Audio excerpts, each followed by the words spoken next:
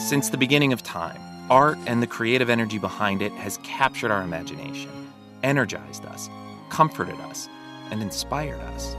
Creative expression has an undeniable power, providing insight into what it means to be human.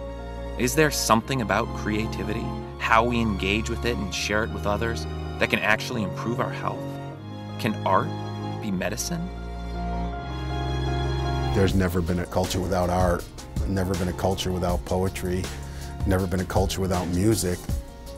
They must be delivering something to us that we really need for our psyches.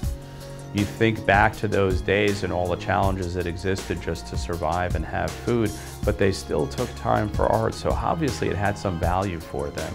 And that value clearly had something to do with health. We've forgotten the original stuff that worked quite well before we had all the sort of medications and other sort of technologies for treatment. In very traumatic illnesses, in very traumatic situations like war, everyone is changed. I lost three Marines due to IEDs. I uh, lost several of my friends uh, on one deployment. When I was 16 years old, I had a heart transplant. Uh, I was in the hospital for three months. And I found it odd that each time I did something with uh, art therapy, I felt better because there was something in me that was dying to get out. And through art, I was able to express it. I remember writing about this. I remember writing to my heart. I remember asking it to please work with me. I remember um, really almost in letter form, just saying, I, I, know that this environment isn't natural for you. I know that you are in a foreign place, but so am I.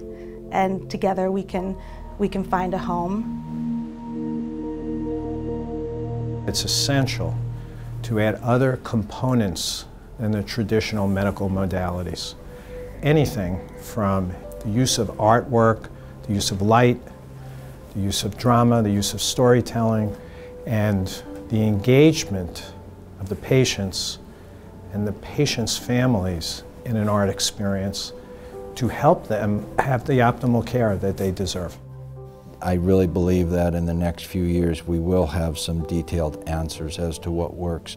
We are learning that storytelling and arts and emotional health is just as fundamental to well-being as your physical health.